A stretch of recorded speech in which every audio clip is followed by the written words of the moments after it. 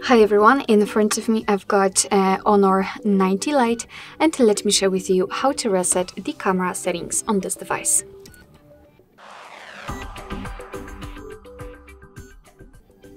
So uh, first of all we have to open the camera app and I hope that you can see those grid lines. I've applied them before I've started the recording and it is because I'd like to show you the visual evidence that the um, reset option will work so they should disappear.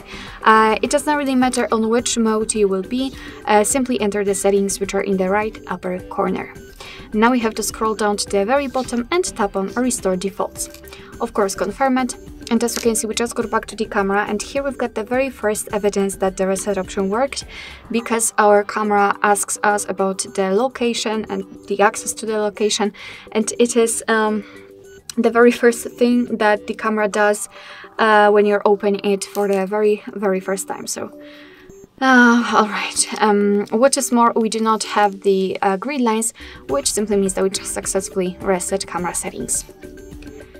Alright, so that will be all. Thank you so much for watching. I hope that this video was helpful and if it was, please hit the subscribe button and leave the thumbs up.